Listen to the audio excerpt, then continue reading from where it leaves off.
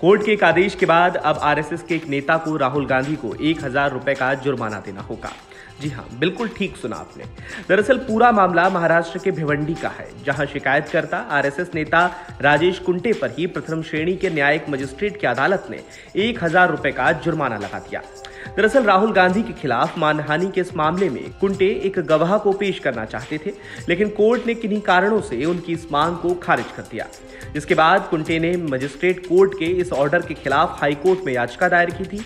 वहीं ताज़ा सुनवाई में कुंटे ने इस केस को स्थगित करने की अर्जी लगाई थी, जिसे अदालत ने खारिज करते हुए उन पर ही एक हज़ार रुपए का जुर्माना लगा दिया।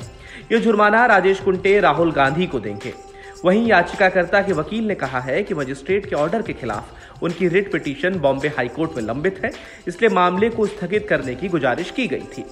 बता दें कि पूरा मामला 2014 के राहुल गांधी के एक भाषण से जुड़ा है, जहाँ राहुल गांधी ने महात्मा गांधी की हत्या के पीछे आरएसएस को जिम्मेदार ठहराया था।